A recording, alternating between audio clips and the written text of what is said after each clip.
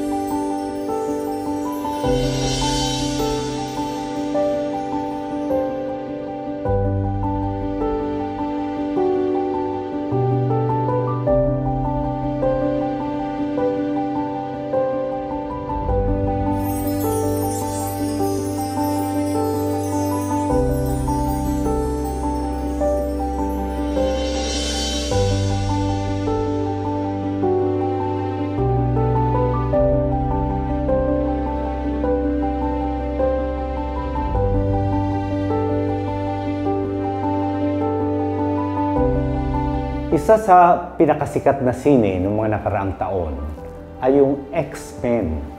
Dito nakita natin ang iba't ibang superheroes. Ngunit sa palay kong pinakasikat ay si Wolverine. Kapag galit si Wolverine, ang mga kuko niya ay humahaba at nagiging mga matutulis na patalim o balisong. Naitanong ko minsan sa aking sarili, paano kaya mangulangot si Wolverine kung galit siya?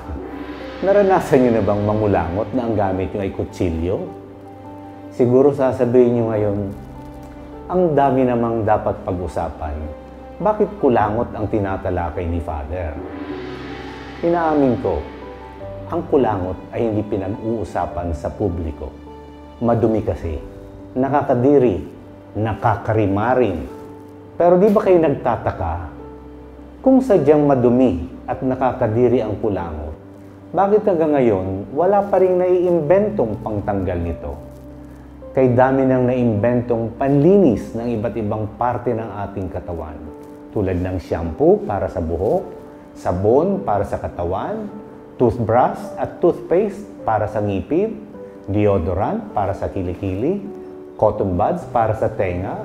Pero hanggang ngayon, wala pa rin kayong mabibiling panlinis ng ilong sa kahit saang supermarket ito pa rin hinliliit nating daliri ang pinaka-epektibong pangtanggal ng kulangot. Sapagat damang-dama mo ito habang inaalis mo sa ilong. Yung iba nga, pinaglalaroan pa sa daliri bago pipitikin palayo. O pasimpleng ididikit sa ilalim ng lamesa o upuan. Hindi nga pinag-uusapan ang kulangot sa publiko. Wala pa akong narinig na nagsabi sa iba, Oy, naghehelo ang kulangot mo.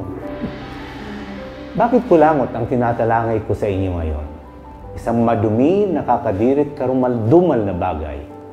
Sapagkat ang tema ng ating ebanghelyo ngayon ay tungkol sa kasalanan. Sa aking palagay, wala nang nakakadirit karumaldumay na bagay na hihigit pa sa kasalanan. Kaya ang ating reaksyon kapag tayo nakagawa ng kasalanan ay nahihiya tayo punong-puno ng pagsisisi at takot na baka tayo mahuli. Hindi nyo ba nahalata? Halos lahat ng kasalanan ay ginagawa natin ng patago. Ang kasalanan ay parang kulangot. Alam nating nariyan ito, ngunit okay lang hanggat nakatago, walang nakakakita. Kaya nga, nagiging eksperto tayo sa pagtatago. Hanggang yung ating itinatago ay nagiging bahagi na ng ating pagkatao. At kapag nangyari yan, kapag tayo nasanay na sa paggawa ng hindi tama, hindi na tayo nalulungkot o nahihiya kapag ginagawa natin ito. Wala na rin tayong dahilan upang magsisi. Ang kasalanan ay parang kulangot. Tayo rin, kapag nasanay na sa kasalanan, tayo mismo nagiging kulangot. Ano ibig sabihin nun? Kulangot kulang sa lungkot at pagsisisi na nasaktan natin ng Diyos. Kulang sa takot sa epekto ng kasalanan sa ating buhay. Kung minsan ay tatanong ko rin, bakit napakailap ng kapayapaan sa ating sarili, sa pamilya, lipunan at daigdig? Ang sabi ni San Agustin, Peace is the tranquility of order. Ang kapayapaan ay ang katahimikan ng ating puso at isip na nagmumula sa wastong kaayusan ng ating buhay. Para kay San Agustin, ang kasalanan ang siyang sumisira sa wastong kaayusan ng ating buhay. Sin is the greatest disorder in our life mahirap mabuhay ng mapayapa at masaya. Hindi dahil sa mga bagay na mahirap gawin, kundi dahil sa mga bagay na ayaw nating tigilang gawin. Halimbawa, alam nating masama ang epekto ng sigarilyo, alak, sugal, at iba pang bisyo, subalit ayaw nating itong tigilan. Hanggang huli na ang lahat, nasira na nito ang ating buhay. Ngayon, sa Russia at Ukraine may gera, alam ng Russia na marami silang papatayin tao sa Ukraine upang masakop nila ang bansang ito. Subalit ayaw nilang itigil ang kanilang ginagawa. Alam din ng maraming politiko na masamang magpayaman sa pamagitan ng korupsyon, suhol o pagnanakaw. Subalit ayaw nila itong tigilan. Alam ng mga mag-asawang masamang manloko ng kanilang mahal sa buhay Subalit marami pa rin sa kanila ang ayaw tumigil sa pagtataksil. Ngayong huling linggo, bago magmahal na araw, mababasa natin sa Ebanghelyo ang kwento ng isang babaeng nahuli ng mga taong nakikipagtalik sa isang lalaking hindi niya naman asawa. Pinatawad ni Jesus ang babaeng ito. Subalit kanya ring hinamon Sinabi niya, mula ngayon, tigilan mo na ang paggawa ng kasalanan na siyang sumisira sa iyong buhay.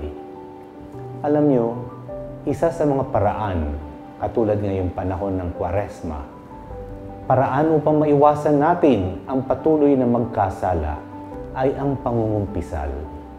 Ngayon marami nagtatanong, bakit kailangan mangumpisal pa? Alam niyo ba, may isang napakahusay na psychiatrist sa Amerika na nagsabing karamihan sa mga sakit ng isip at katawan na ating nararanasan ay dulot ng mga kasalanang ayaw nating ikumpisal. Ang sabi pa niya, ang absolusyon ang pinakamabisang solusyon sa mga kaguluhan ng ating isip, katawan at kaluluwa. Maraming tao nagsasabi, bakit ako mangungumpisan sa isang paring mas makasalanan pa sa akin? Diretso na lang ako sa Diyos. Napakadali nga para sa Diyos na sabihin na lang sa lahat sa atin, pinapatawad ko kayo. Tapos na ang ating problema. Pero hindi po ganun ang pinili niyang paraan upang makamit natin ang kapatawaran. Ang Diyos upang mapatawad lamang tayo ay nagkatawang tao pa. Nagdusa, nagpapako sa krus, at namatay at muli niyang nabuhay. Sa kanyang muling pagkabuhay, sakala niya sinabi sa kanyang mga alagad, Whose sins you forgive, they are forgiven.